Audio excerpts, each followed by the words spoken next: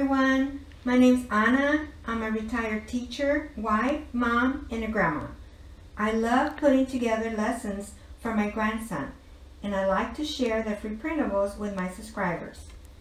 Today, I'm going to share with you some fun hands-on spring activities that are perfect for toddlers and preschoolers.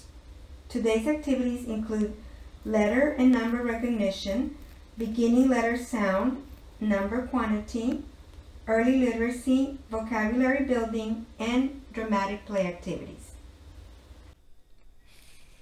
The first activity is a literacy activity.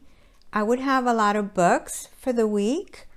This one is Flower Garden. I really like this book. It's about a little girl and her dad, and they're going to plant a garden. I like the pictures and I like the big print in the book. Really good. This one, God made seasons, so we would talk about spring. God made spring and he made the flowers. Super cute book. This is actually from Dollar Tree. Another book on the weather, so we would go over this. This one's also from Dollar Tree. This one is a book of colors. Super cute book. The biggest Easter basket and Llama Llama Easter egg. This one is one of my favorite books. This is for teaching vocabulary and I really like this book. So throughout the week, we're going to talk about the garden. So we would talk about the shovel and the watering can, the rake, flowers, the flower pot, and so on. This one is a really good book too. I like that we can slide to the side and we see flower, pretty flower, bee,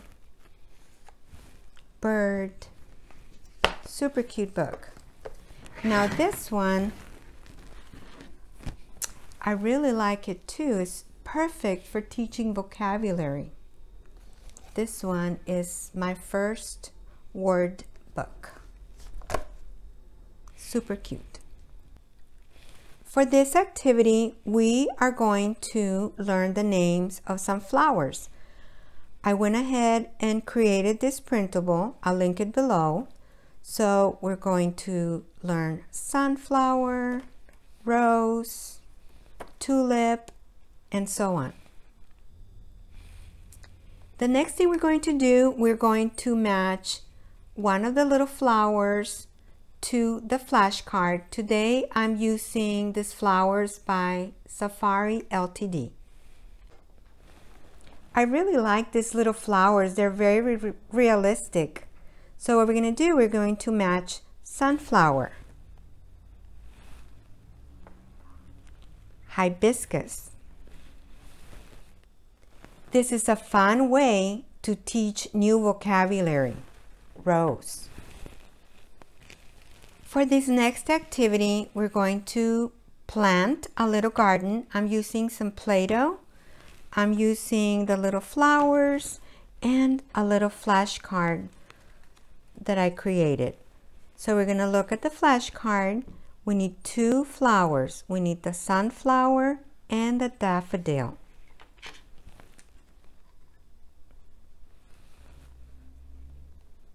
All right. Let's work on another one. Let's see. We need bird of paradise, and we need the hibiscus.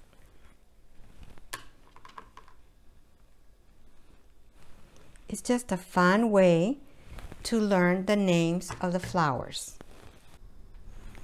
If we don't have the little flowers from Safari Ltd, any flowers will do. I have these flowers, these are from Dollar Tree, so we can just play that we are going to plant a garden.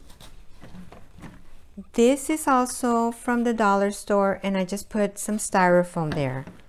So we would just plant our garden. Get some flowers and we would just plant some little flowers. For this next activity, we are going to review the parts of the flower. This is a free printable from kidssoup.com. So we would just look at the printout. Here's the flower, the petals, the seeds, the leaf, the stem, and the roots. I have this flower. This is a flower from Dollar Tree. I went ahead and I put some yarn at the bottom so we can review the parts of the flower. We can say this is the flower, these are the seeds, the petals, the leaf, the stem, and the roots. If you have some Duplo Legos, you can also have your child plant the garden using the little flowers. And we're planting our garden. Just use whatever it is that we have at home. For this activity, we're going to plant some flowers and each little flower has a vowel. I'm using popsicle sticks. I created this printable. I'll go ahead and link it below. I left some uncolored, so if you want to color that with your child and then just put them on some popsicle sticks. And we are going to plant our garden, reviewing our vowels. So that is the letter A that says a, a, apple. This is the E that says e, e, elephant. The letter I for igloo. Super fun activity. If you want to, these flowers from the bottom, you can have your child color them and then you can put a sticker and then use whatever letter you're working on for that week. This next activity is a color sorting activity. I'm using this container that they gave me at the store. I went ahead and put some plastic eggs and I'm using pom-poms and we're just going to sort all the pom-poms by color. Depending on the age of your child, you can either use one of these or your child can use his little fingers. This is a great activity, fine motor development activity because they're using their little pincer grasp as they hold the pom-poms and they're also sorting by color. Super fun activity. This next activity is a logic activity. I'm using some plastic eggs and these cards that I created. We're going to look at the first one. I went ahead and put all the bottoms in one basket and all the top of the eggs in the other basket.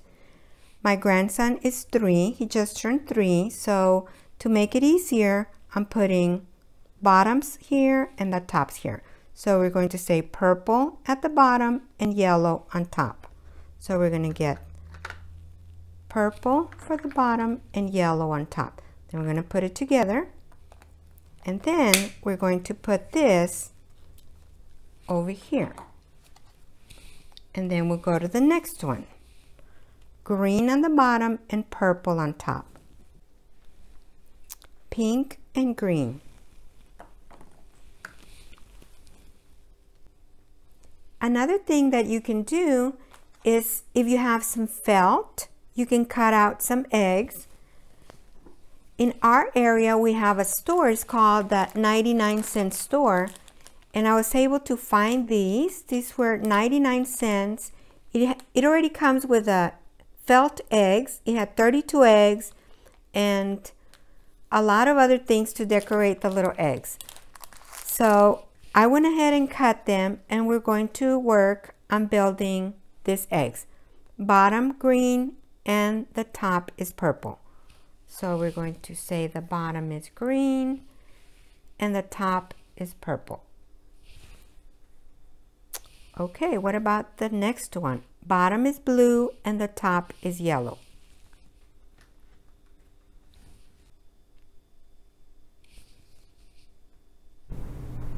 This next activity is a number quantity activity. I'm going to use this printable. I'm going to use some magnetic numbers and some of these little mini erasers and we're going to count and put our little manipulative, our little erasers right here on the 10 frame. So we're going to count. One, two, three, four, five, six, seven, eight. Super cute activity. For this next activity, we're going to build this flower using this printable. This is a free printable from prekinders.com and some pattern blocks.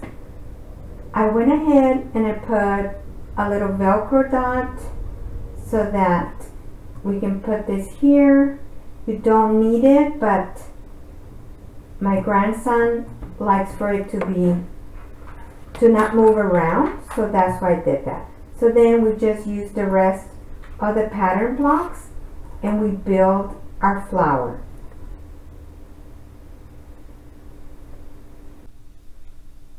For this next activity, I'm using this printable. I'll go ahead and link it below. We are going to sort the pom-poms by color. Yellow, pink, blue, purple, so on.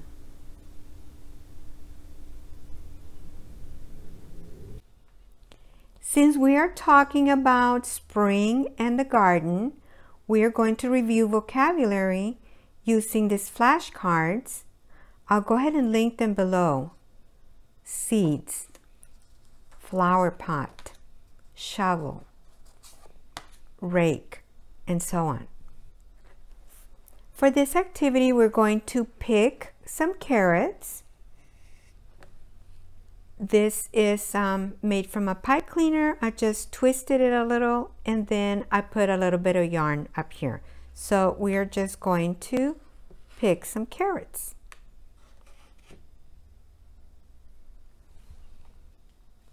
For this activity, we are going to feed the bunny. It's just a container and I put a picture of this bunny and we're going to feed the bunny some carrots.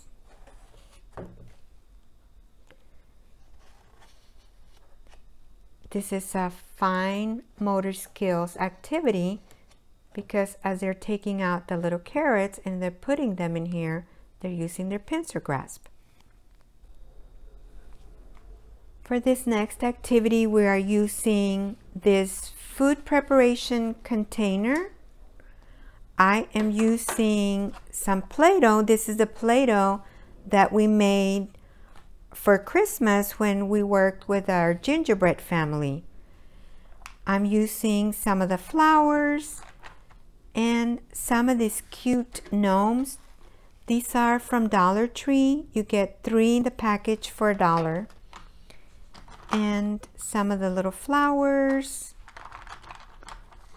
So what our child is going to do is just have some fun planting a garden. You can use whatever you have at home.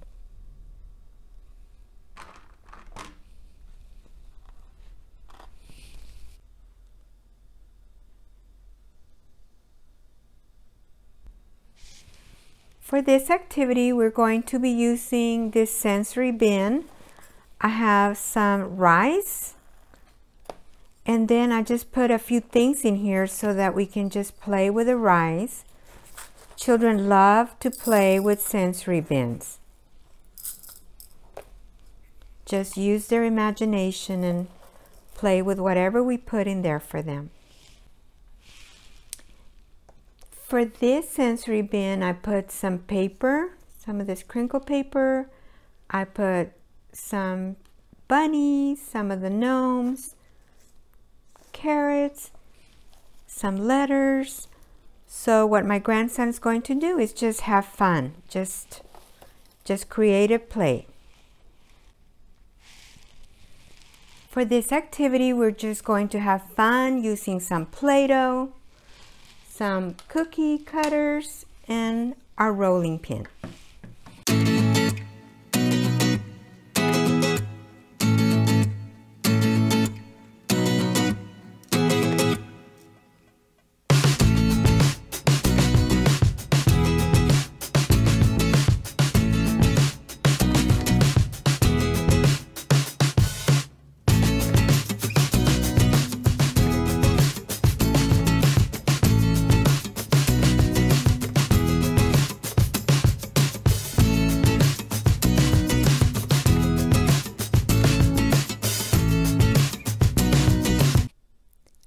You enjoyed the activities I had for you today.